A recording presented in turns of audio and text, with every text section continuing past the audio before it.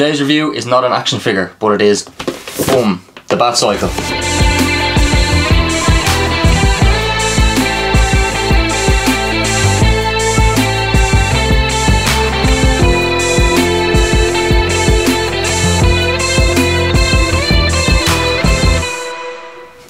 What's happening Toy Snappers? Welcome back to my channel. My name is DJ, better known as Toy Snap Inc on Instagram. Today's review is not an action figure, but it is, boom, the Batcycle. And this is McFarlane's DC Multiverse second vehicle to be released as part of their new line of figures. So this is pretty cool. So up close, you can see it is modelled on like a skeleton of a bat on the frame of a bike. And for those of you who are not familiar, it came from issue one of Death Metal, which was the latest event in DC Comics, which saw all timelines, all heroes, all merged so they could fight Perpetua and the Batman Who Laughs. And this appeared in issue one briefly with Batman riding on it, and they went ahead made it. So let's get it open and see how she looks. Okay, so my trusty knife. Let's flip it open. That. That. Is that it? Nope. Not it. This and this. That away so I don't stab myself. And the big reveal. Do uh, more packaging.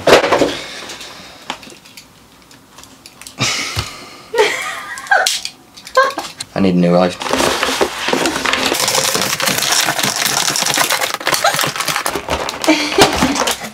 Well, don't play with knives, kids.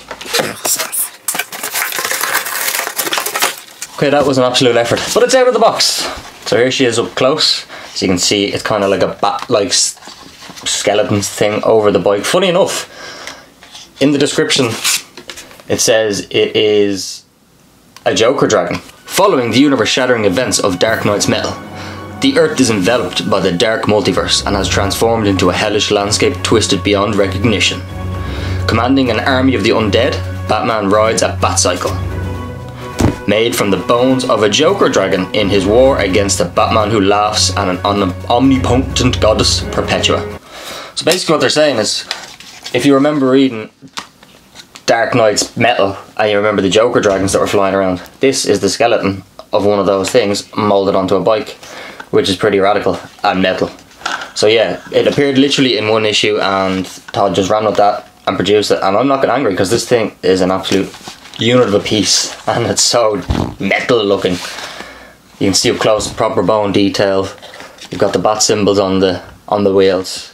Got the protruding bones the whole way down. Got the rib cage along here which are all separate pieces.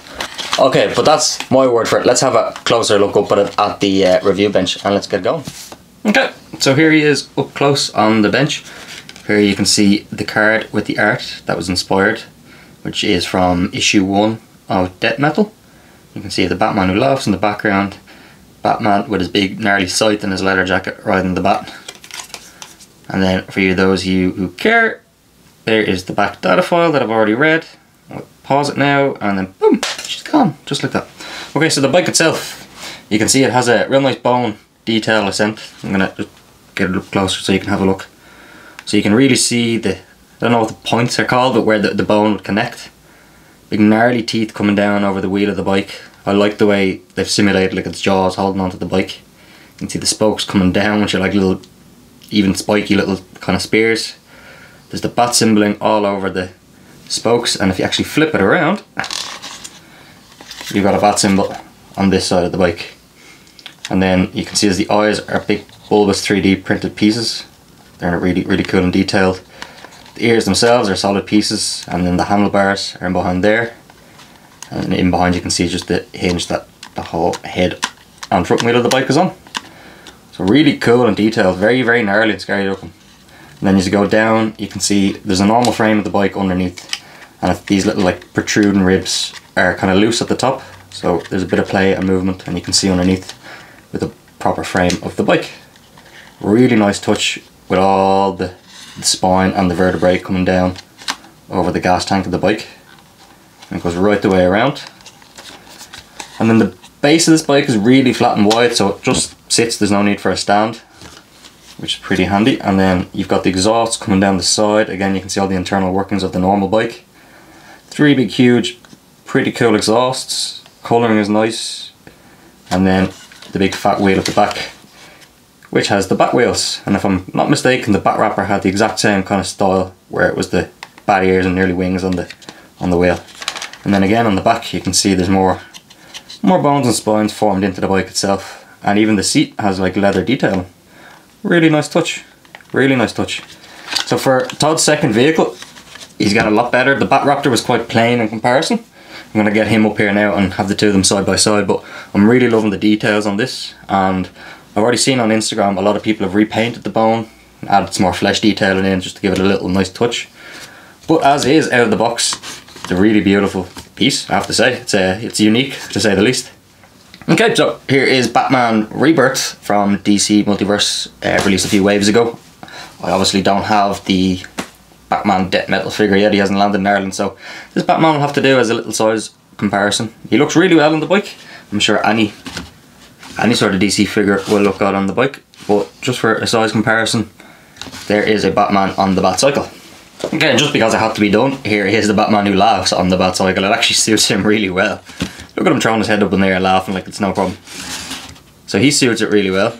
And then for comparison size, here's a smaller 6 inch scale DC Universe Mattel Classics Alfred on the Batpoint. suits him so well. Um, so yeah, there's an idea for a smaller scale figure on this quite large bike. Gotta say, Alfred's rocking it. Alfred's rocking it. They see me rolling. they hating. Okay, and here is the Batraptor from McFarlane's first kind of wave, and it was the first vehicle he'd ever done. And here's the second one, comparison size. So they're in and around a bit the size. Obviously, this one is a bit wider, but this one he's he's really gone all out on the details. I really like the aesthetic of this one. Look gnarly. Uh, a lot of customization options available for it as well. So gets the thumbs up from me. I like it.